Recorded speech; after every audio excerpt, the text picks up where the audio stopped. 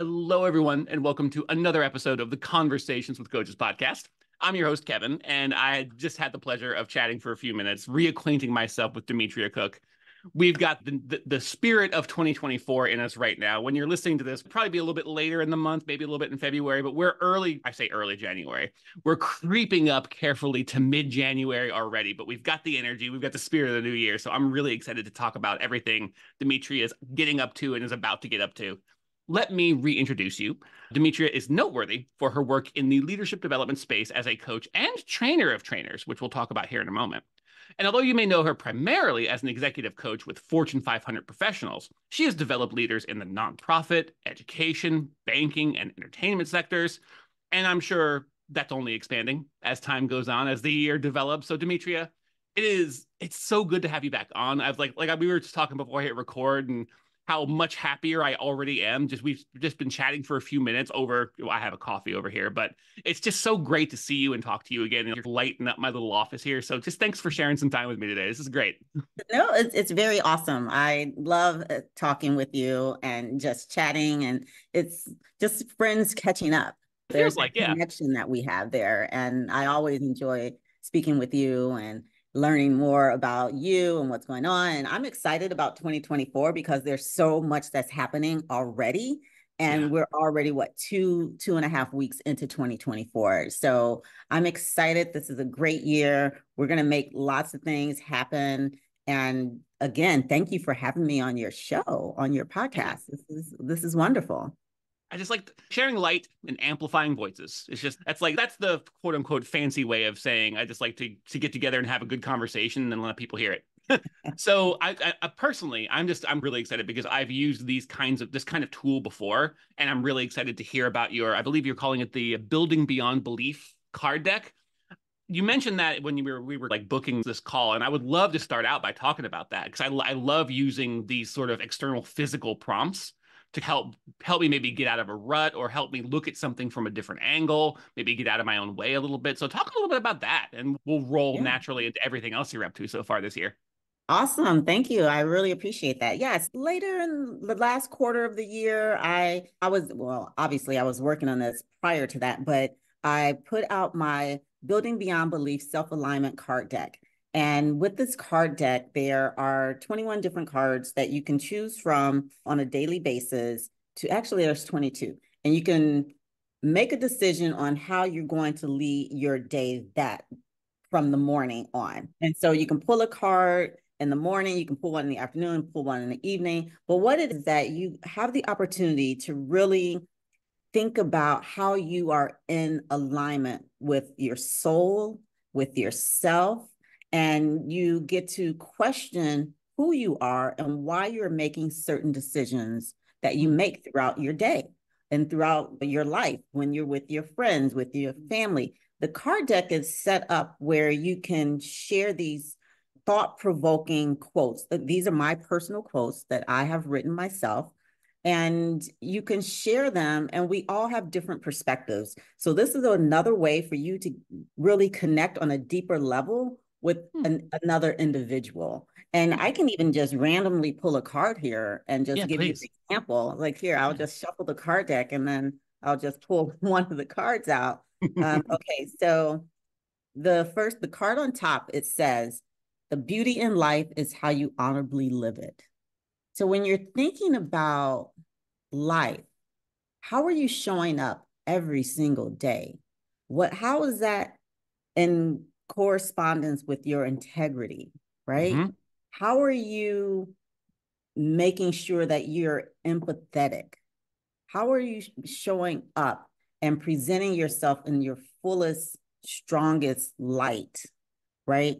So, yeah. knowing that the beauty of life is how you honorably live it, you're going to affect so many different people. And when you show up that way every single day and every single thing that you do, people will notice. They will begin to understand, they'll begin to open up themselves. Just asking a question like this and sharing that thought with someone else, you can have an open discussion, an open dialogue as yeah. to how are you doing this on a regular basis? I love because as soon as, as that word honorably immediately jumped out as soon as you read that, and I was in my the first word that popped into my head when you honor was like, "Ooh, honorably. What does that mean?" And the first word that came up was integrity. That was the first word that popped into my head, and so I was like, "I'll have to make sure to mention that." And sure, sure enough, eight seconds later, you were like, "How you live with integrity?" I was like, "Oh, okay, yeah, yeah, yeah, yeah." And what does that mean? I like that word honorably there because it really does. It prompts my brain to think of how that applies to my life. I'm just like, how am I showing honorably? Honorably, honor isn't a daily concept for me. Maybe this for a lot, but at least not that word, but integrity is and empathy mm-hmm. is. And so like making that connection to not just a feeling or sort of an internalized sort of work or conversation I'm having, but also it's what am I honor is like how I'm showing up, the actions I am taking, the words I'm sharing was like, and as you can see, like that prompt has already got me like spinning and thinking about how I could do that in my day and how I've been doing that in my days past, how I can set myself up to, to be honorable in my days to come. That's, that's great. I like yeah, this. Yeah. And, and also where are your ethics? Uh, how are you showing up ethically on a daily basis? There's so much. And again, these cards are meant to really prompt you and to get you to think about who are you at your core, who are you at your soul's alignment, so mm. that you can start tapping into that and really appreciating and really reconnecting with who you are from the inside, right? Because mm-hmm. we go about our day and we just, it's automatic. We just do things. And then when you stop and you think about how am I presenting myself to the world? Am I living honorably? Uh, do I have, what are my ethics? What is my integrity? If I'm doing this, is does my integrity, does this hold up to my integ- my standards of integrity? Yeah, it's the cards is, I, I, it, these cards really hold a place in my heart mm-hmm. because so many people re- need to reconnect with who they are because we've gone off the rails. Mm-hmm. and so this is a way to bring people back and to really get people to think about who do I want to be every single day in my life. Yeah, that's funny. That's funny. I was I had the train metaphor going in my head as you were talking because it's funny how both being off the rails and on the wrong track can they mean similar things, but basically it's just a summation of you're you're not going in the right direction and mm-hmm. again, it's alignment that it keeps coming back to. And this is, right. again, this is one of the things I love so much about coaching. And I have so many of the like core principles of why coaching is so important distilled down into a deck of cards, like an actual physical thing that even if you don't pull a card, the deck's on your desk and you see it and you're like, it, it starts to prime you and prompt you to both, not either or, both consider the big picture the big concepts that the, the, the your character how you're showing up in the world. This big huge like 30,000 foot like what does life look like from where I'm at all the way down to what do I do today? What actions right. do I take today this hour this minute? What words do I say? What parts of myself do I share? How do I show up in my home with honor? Maybe you know what? Maybe I'll go ahead and do the dishes early so that the, maybe I'll maybe I'll clean up the kitchen so that the next time we cook everything it's little like it's just all these little prompts where you think about the big concept stuff that just mm. drives your entire life's work and not or and what am I doing right now and what can I do today to yeah. exemplify that and that's I love I, it's both and I, that's one one of the things I love the most about coaching it, absolutely and when we're coaching I coach the whole person we talked about this prior before in our other conversation but it's so important because the personal affects the professional affects the personal. And how you show up in your career was pretty much the same way that you're showing up in your personal life.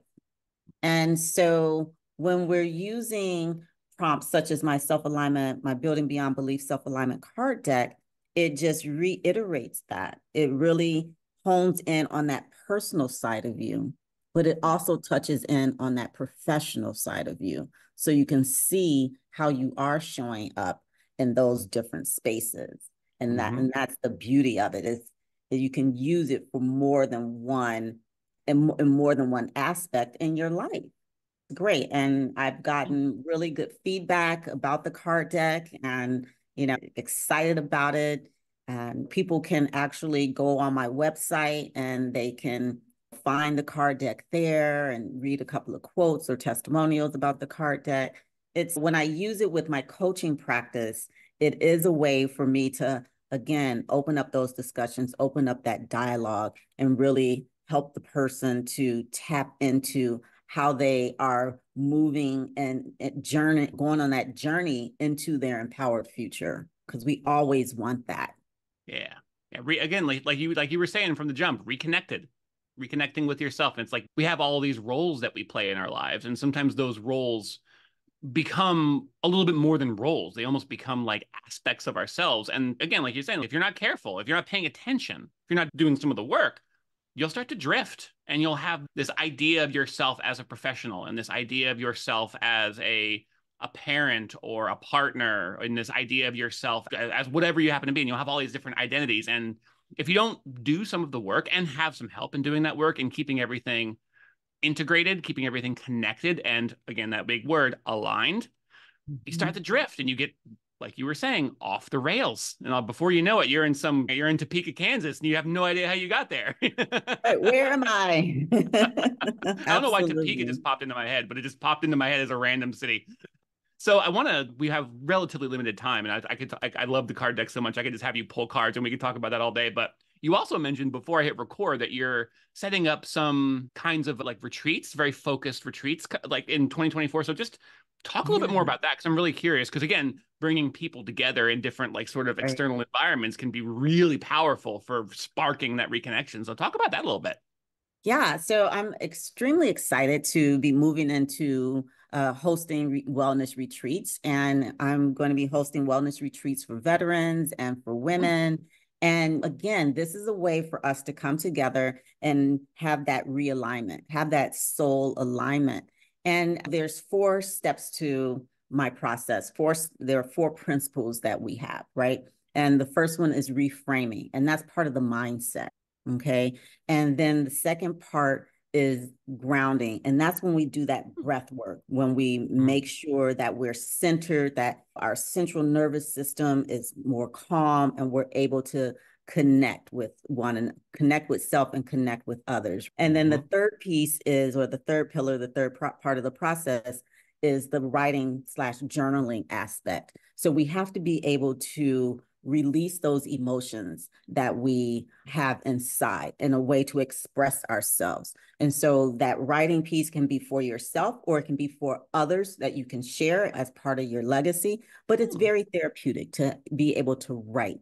And the last pillar, the last principle is with the is the yoga aspect and that's the hmm. centering aspect. And so we want to make sure that we're centering ourselves. So we have the reframing, the grounding, the journaling, and the centering. So those are the four principles, the four steps to the building beyond belief, of to building beyond belief.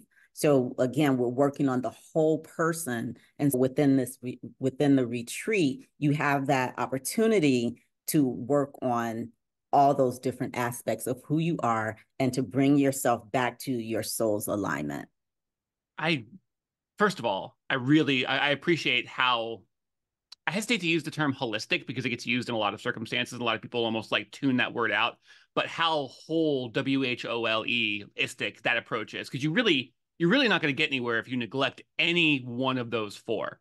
And one thing that I, I find that so often I, at least in my life, will, if not neglect, give like shorter shrift to is the grounding. Where I was like, you know what? I'm, you know, I am, I had a bad, I had a weird meal and I like I had a little indigestion last night and I slept funny. Maybe I need to like actually acknowledge the fact that it happened. You know, may, maybe I'm like I noticed myself like I'm breathing too shallowly today, or my my breathing is quick. I need I need I don't necessarily know why, but that's moving some stress up from my chest into my shoulders, creeping into my neck and head, and it's affecting the way that I'm interacting with people. It's there's all these like little stuff, and that's just the stuff that I realize. And so it's just reground, just ground. And I, I love I love that term too because it's just take off your shoes, get in mm-hmm. contact with the earth. But It's like just remember where your two feet are planted. Get your balance right, and that's again, it's so easy to neglect any part of that. Again, the reframing too is like sometimes you just need to get out of your patterns, even if your patterns are well built and well constructed and relatively healthy. Maybe it's been a while since you've pulled the fridge out and cleaned up behind it. I just I did that like a month ago or so, and it had been like about a year, and I have cats, and so I pulled the fridge out to do some spring cleaning in the winter because I'm weird like that.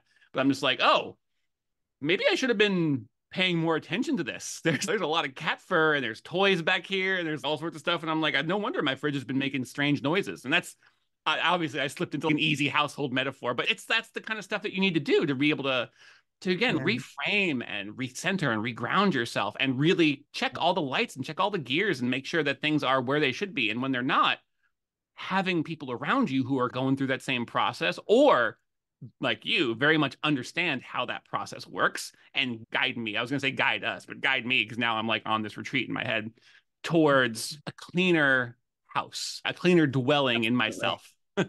yeah, and it is. It's about the patterns, the behaviors, the beliefs, and that reframing, and again, the grounding and the the journaling and the centering. So it, it is. It's designed this well. The wellness retreats are designed again to work on the whole person and to really, like you were mentioning before, having your feet on the ground. And when we're connected to earth, we draw in that energy from the earth. Those mm-hmm. are our roots and you can feel it.